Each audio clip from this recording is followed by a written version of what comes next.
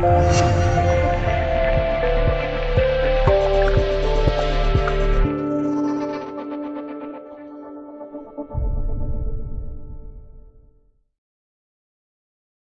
哥老牙医聊聊口腔问题，口腔溃疡原因各种各样，有人却说是上火引起的，真的是这样吗？平时你有可能已经习惯了自愈，但是有些溃疡并不是省油的灯，半夜折腾你睡不着，加上天气干燥，容易引起口腔溃疡，每个月都会来两三次，反复溃疡的背后在暗示体内存在问题，究竟是什么原因引起的？很多人可能不知道，口腔溃疡其实是免疫系统占一大部分。虽然医学上对于溃疡还未有准确的病因，也无法根治口腔溃疡，但是有一点我们可以调节免疫，提高免疫力。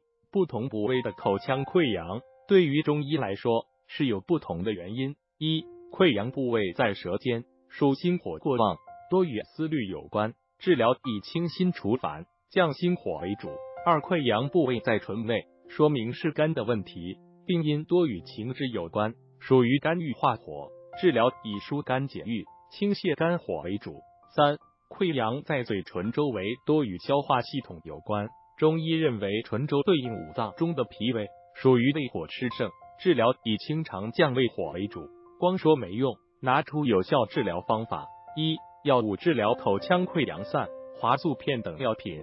对于普通溃疡部分效果明显。二、日常治疗蜂蜜涂抹溃疡处，保持湿度的同时，有益于缩小创面，加速新组织生成。淡盐水漱口，温开水中加入一汤勺盐，口腔两侧来回漱口。每天吃完饭漱几次，多喝点酸奶、牛奶等奶制品，多吃胡萝卜等维生素高的蔬菜或者水果，补充维生素 C 和维生素 B 一。嚼点薄荷叶，每天嚼三次，可加快口腔溃疡愈合。有空多锻炼，运动运动身子，提高免疫力。如果小朋友口腔溃疡，一般会有一到两个溃疡部位。由于小朋友缺乏免疫力，自愈时间可能会更久。